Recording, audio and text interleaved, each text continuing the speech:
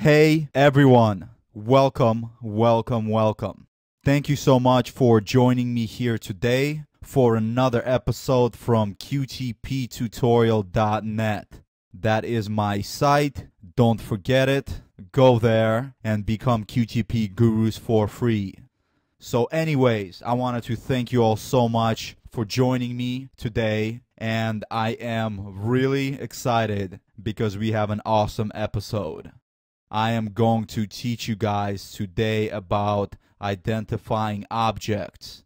And I'm going to make you guys experts in it. And let me tell you a quick story in that through my countless hours of expertise and experience in the real world, it's sad how many times I've experienced an automation engineer who has no idea how to recognize objects with QTP. And when I find out that this individual can't even recognize objects correctly, it shocks me because it's the real foundation of automation. And if you can't identify an object that's dynamic and that's changing, then I honestly am not sure what you're doing as an automation engineer. So, what I want to do here for you guys today is I want to help you to avoid and not be those charlatan automation engineers that I've experienced. I want you guys to comfortably walk into your workplace, see an application, and identify the objects correctly so that when things change, your objects don't fail. So, let's go ahead and get started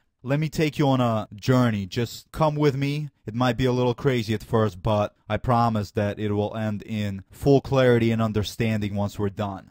So, imagine that we have this beautiful car. Okay? This is just a car, just imagine. And in programming world, because technically we're going to be writing code in QTP, this car is known as an object. An object, well, what is that? Some of you guys may think of an object as a thing, but in the programming world, an object, it has two properties. It has a state and it has a behavior. That's it. That's what an object is. So for example, this car. It has a state of driving it has a state of color, which is green. Some behaviors it has are accelerate, decelerate, turn left, turn right, maybe crash, maybe blow up. Those are its behaviors. Do you guys understand? It's kind of what an object can do. Okay? So some states are its color, its appearance, maybe it's a four door, a two door. Okay? So that is an object. Now, it's very important that from here on forwards, we think of everything as an object. Okay? Even, you know, a person. A person is an object. A person has a state where, you know, they have hair color, eye color, height, and so on. And the person has behaviors. A person can eat, we can talk, we can design tutorials about QTP, and so on and so forth. Okay? Now, let me do one more thing and create another car. Okay? Let me put them side by side. Okay. Now, can anyone tell me what is the difference between this car and this car? How do you differentiate between this car and this car? Well, to be honest, really right now you can't. They're both lime green. They're both the exact same dimensions because I copied and pasted this box. And there's no way to differentiate, right? There is one thing that I will teach you. It's a little bit more advanced. It's called an ordinal identifier. That is used in QTP, and it's one way to identify right now, but we'll get into that later. Anyways, so right now, just imagine there's really no way to differentiate between this car and this car, right? But what if I did this? Okay? Can you differentiate between the two cars now?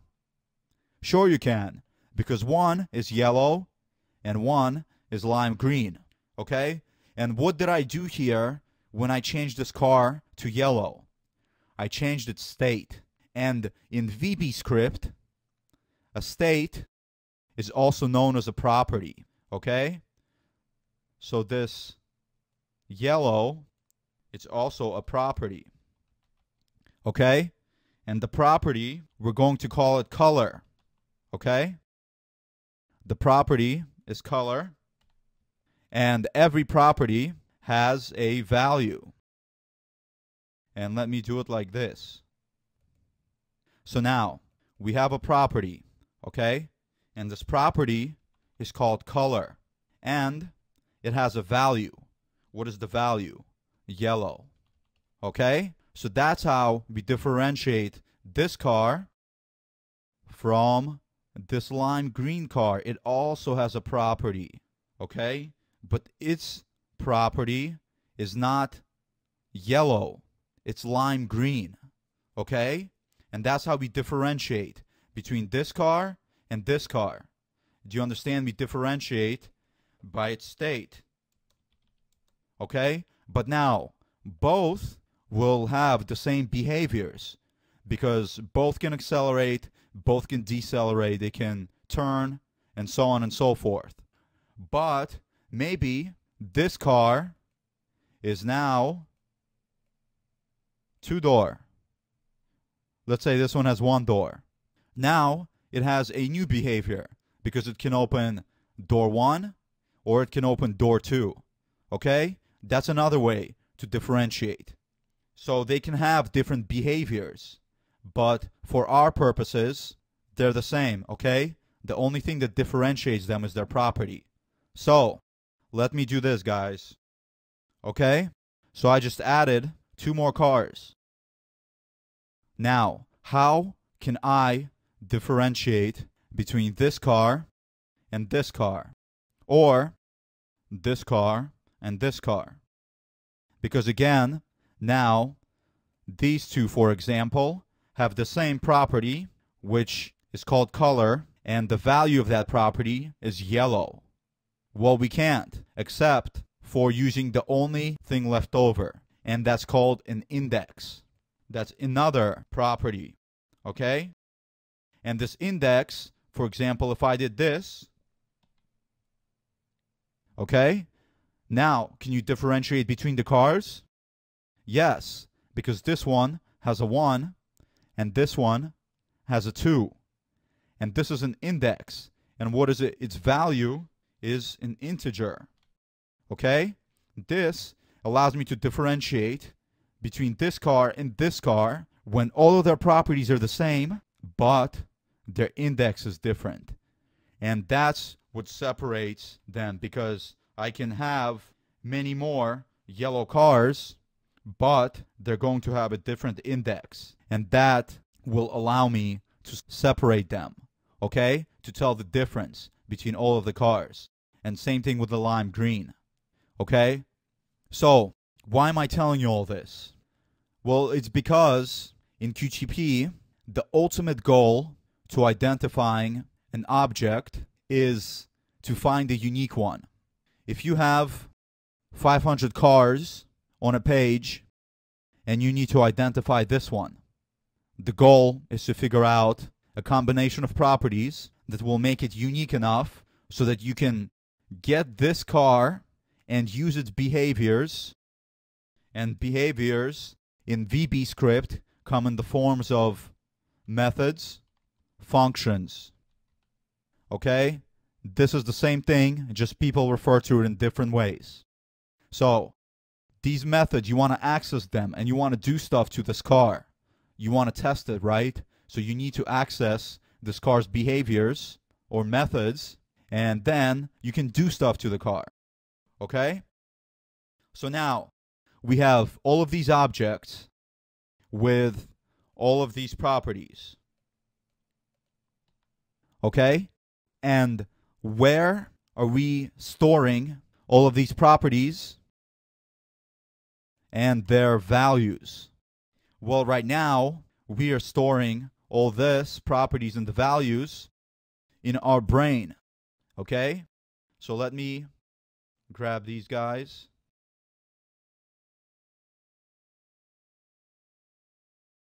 And they're being stored in our brain, okay? Let me try to symbolize a brain here. In here, we know that the property of this yellow car, the property being color, and this value being in that its value being yellow. Okay? It also has a property called index, and that index is one. We see it and we know it because of our brain. Okay? Same thing for this car. We know that it has a property called color, and that value of color is lime green. And it also has a property called index, and the value of that index is 1. Okay?